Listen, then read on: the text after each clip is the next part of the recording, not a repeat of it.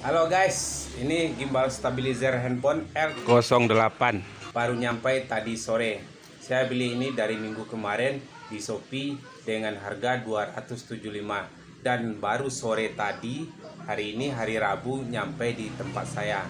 Bayangin guys, berapa jauh Sumatera sama Jakarta. Nah, dari Jakarta sampai ke tempat saya Painan Pesisir Selatan cuma empat hari. Nah, di video kali ini guys, saya akan buka akan unboxing gimbal stabilizer R80 ini dan sekaligus saya akan review bagaimana cara penggunaannya.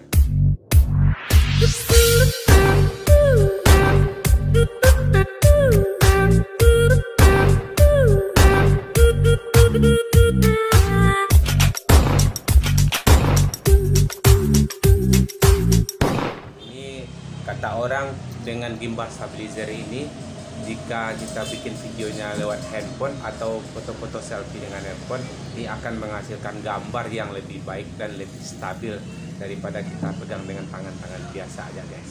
Oke okay, guys. Nggak lama-lama sekarang saya akan buka gimbal stabilizer ini. Baik. Oke okay, teman-teman.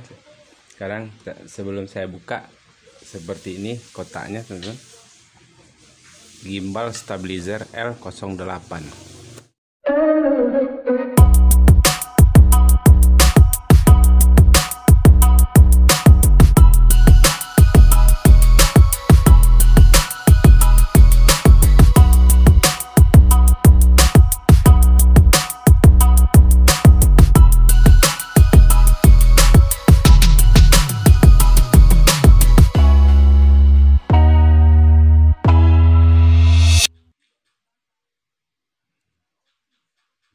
barangnya.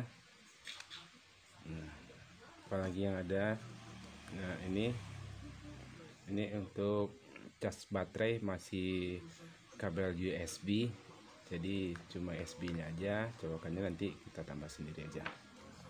Apalagi nah ini buku panduannya ini teman wah buku panduannya bahasa Inggris nih teman-teman ini bahasa Inggris. Dan di sebelahnya lagi juga ada bahas tapi bahasa Cina teman-teman. Saya tidak ngerti ini bahasa Cina dan tidak ngerti juga bahasa Inggris. Tapi ini semuanya bisa diterjemahkan pakai aplikasi U Dictionary nah bagi teman-teman yang mau menerjemahkan buku panduan dari stabilizer ini silahkan teman-teman download aplikasi U Dictionary di Play Store teman-teman di di HP Play Store teman-teman sendiri caranya gampang. Oke nah yang ini gimbal stabilizer.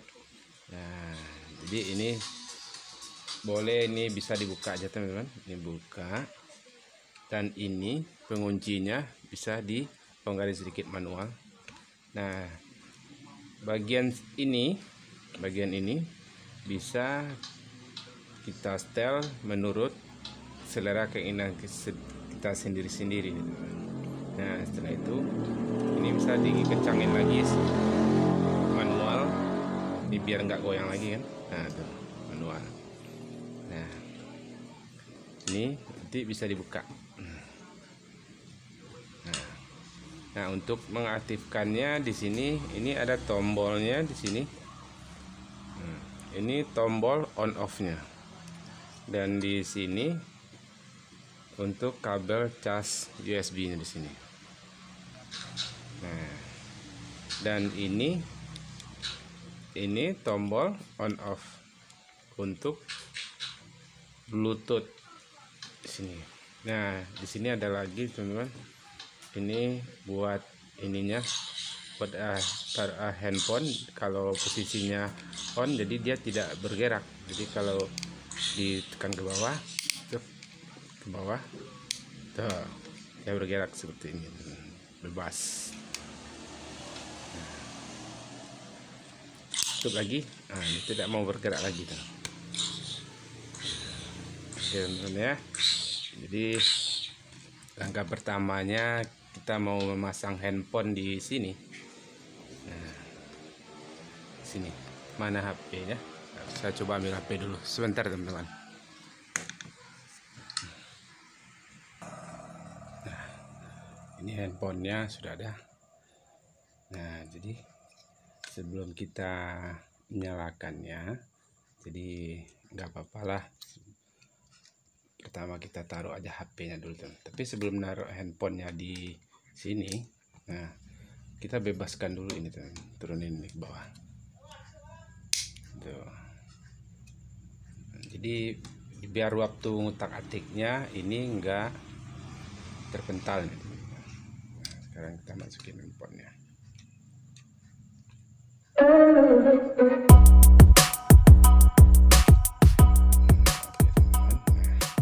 Handphonenya sudah terpasang. Jadi karena ini belum saya nyalakan jadi posisinya seperti ini teman-teman. Nah sekarang saya nyalakan ya. Ini tombol ya teman berisik ya. Ini. Mana dia tadi? Nah di sini. Nah, lampunya akan nyala dan otomatis dia akan bergerak.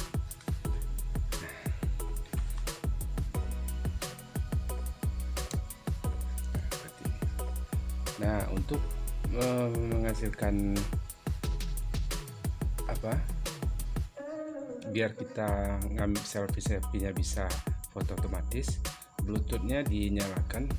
Ini ditekan kira-kira 3 atau 4 detik aja. Nah, dia, dia, dia akan nyalakan lampu hijau nih, akan berkedip. Dan lalu bluetooth handphonenya juga di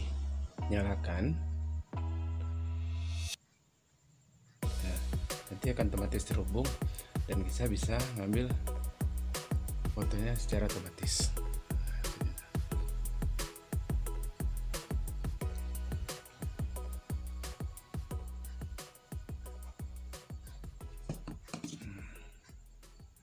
Coba matikan dulu power off nya nah dia akan jatuh kembali teman jadi dia tidak berfungsi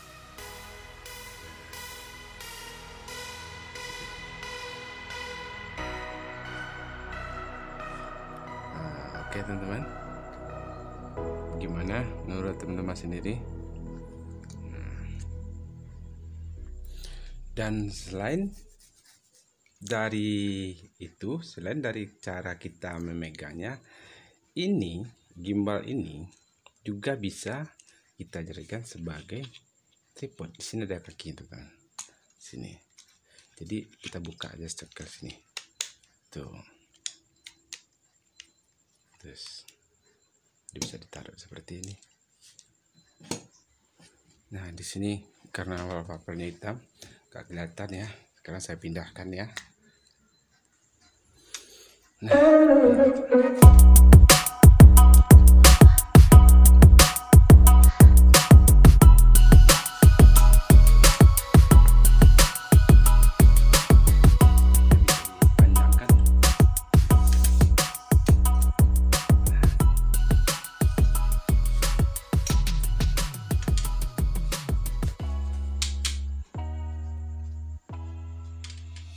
tingginya ini bisa berdiri seperti ini.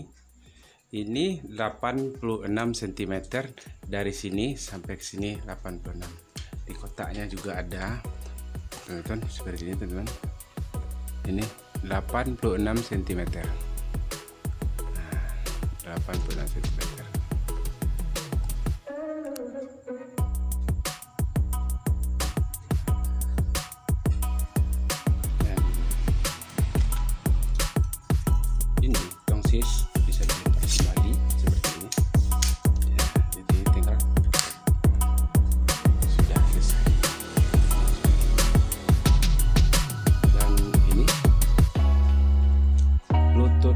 bisa kita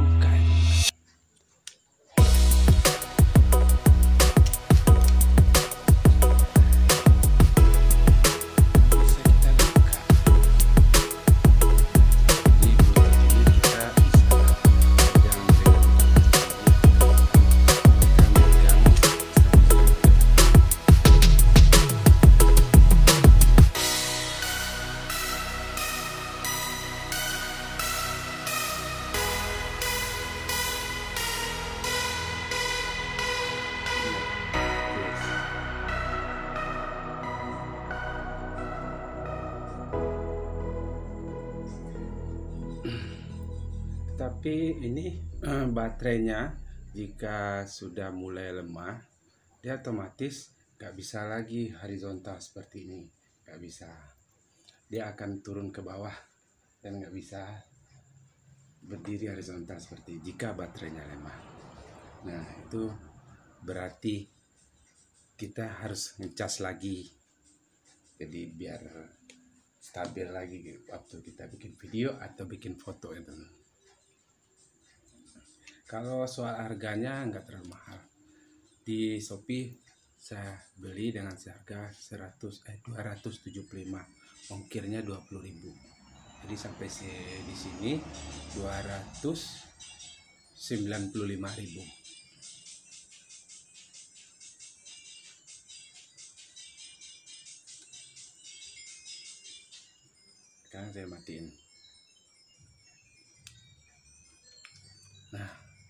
ini mati nih teman off.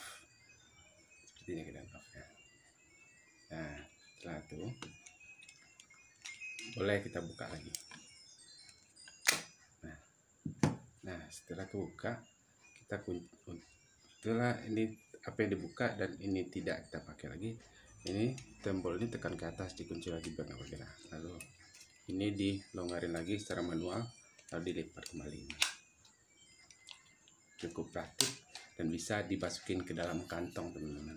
Untuk dibawa ke mana-mana untuk jalan-jalan bisa dimasukin ke dalam kantong aja. Nah seperti itu. Gimana? Teman-teman berminat pengen beli stabilizer HP murah ini? Oke teman-teman semua terima kasih sudah nonton video ini.